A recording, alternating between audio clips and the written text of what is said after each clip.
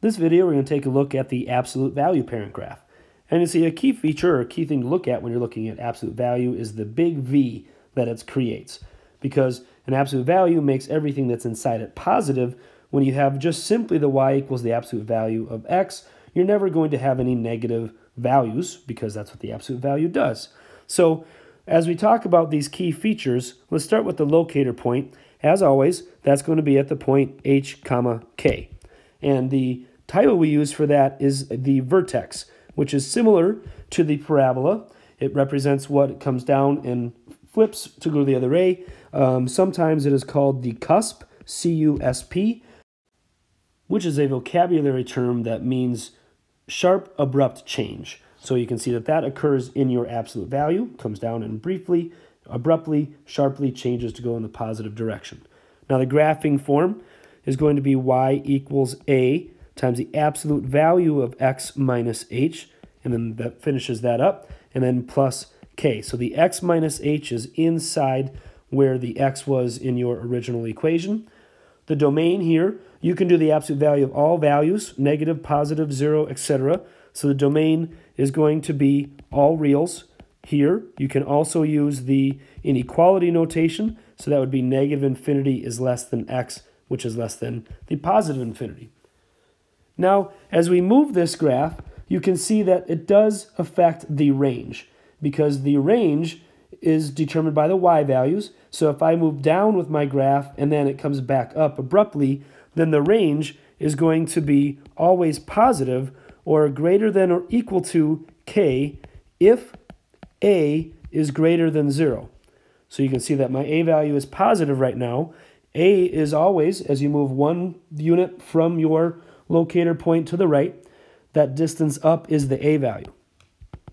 If I take that A value and shift it down and come down here, now you can see that the range had would have to be below that K value. So you have two different options for those ranges. It's always going to be based upon that K value. So it's either going to be greater than K or equal to. If A is greater than 0 or if a is less than 0, y is going to be less than or equal to k. So positive a and negative a for those particular graphs. So again, that a value is just whatever that distance is above that locator point hk. So you can see here, this a value here is equal to 3, and you can see that in your actual equation. You can shift all of this around, and you can move it left, right, up, and down. And you can see how your H values change as that occurs. But the A value is always equal to 3 because if you move 1 to the right of your locator point, you would move up 3 in this particular scenario.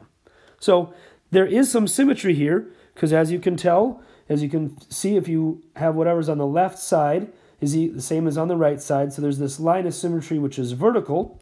So we have a vertical line of symmetry, much like our parabola, that's going to be at x equals h. And there is not any asymptotes here because we're not tending towards one particular value. So you have your a, you have your h, and your k. h is always, just like it was for the parabola, h is always going to be what happens when you move your locator point left and right. k is always going to be what happens when you move your locator point up and down. Now the Moodle syntax is when you have to write that in there, you are going to be expected to do so. So we try to keep it as simple as possible. A, use your absolute value bar, x minus h inside it, close the absolute value, and then plus k. Notice you don't need any parentheses here because x minus h is already grouped together inside those absolute values. A is automatically being multiplied by that in this format. So yeah, it looks exactly like your graphing form. You don't need to worry about parentheses or anything because the absolute value takes care of it.